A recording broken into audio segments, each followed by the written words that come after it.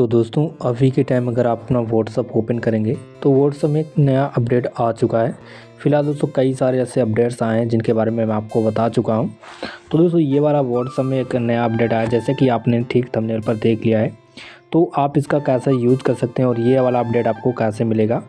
और ये अपडेट दोस्तों, यहाँ पर आपको देखने को मिल जाता है, ये देख सकते हैं। तो आप इसका कैसे यूज़ कर सकते हैं, चलिए बताते हैं उसके बारे में। जानने से पहले दोस्तों, वीडियो को लाइक नहीं किया है। तो लाइक कर देना, चैनल पर न्यू सब्सक्राइब कर लीजिएगा। और दोस्तों, अभी तक आपने मुझे टेलीग्राम पर फॉलो नहीं किया दोस्तों फॉलो कर सकते हैं। कोई भी कमेंट क्वेश्चन हो तो दोस्तों, आप टेलीग्राम पर पहुँच सकते हैं मुझसे बेशक। और जिसका लिंक मैं आपको वीडियो डिस्क्रिप्शन में प्रोवाइड कर दूँगा, और यहाँ पर जल्द से जल्द यहाँ पर 900 जो है सब्सक्राइबर कंप्लीट होने वाले हैं। तो यहाँ पर आप अपने सबसे पहले दोस्तों, यहाँ पर आपको चले जाना है प्ले स्टोर पर।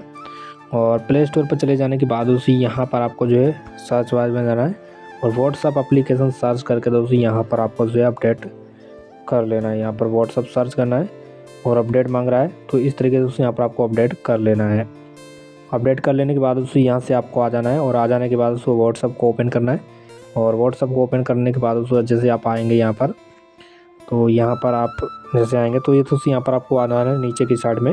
कॉल वाले ऑप्शन पर क्लिक करना है और यहाँ पर आपको ये कॉल का ऑप्शन बटन दिख रहा है।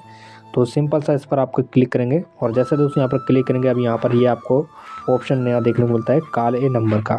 दोस्तों काले नंबर का मतलब क्या है? इस पर जैसे हम टाइप करेंगे तो यहाँ पर क्या होता है कि दोस्तों हमारा कोई भी नंबर अगर सेव नहीं होता है तो उस नंबर को यहाँ पर हम डालेंगे और डायरेक्टली दोस्तों यहाँ से आप चैट बना सकते हैं और चैट से यहाँ से हम चैट कर सकते हैं। जैसे कि कोई भी आपका कॉन्टैक्ट लिस्ट में नंबर सेव नहीं है, कोई अन्य नया नंबर है तो वो नंबर यहाँ पर आप डायल करके उसको यहाँ से आसानी तरीके से यहाँ पर चैट कर सकते हैं।